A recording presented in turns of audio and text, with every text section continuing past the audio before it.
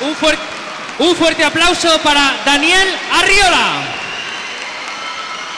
entrenador y director técnico de la agrupación deportiva Noain y una de las personas que ha hecho posible este gran espectáculo que hemos vivido hoy aquí.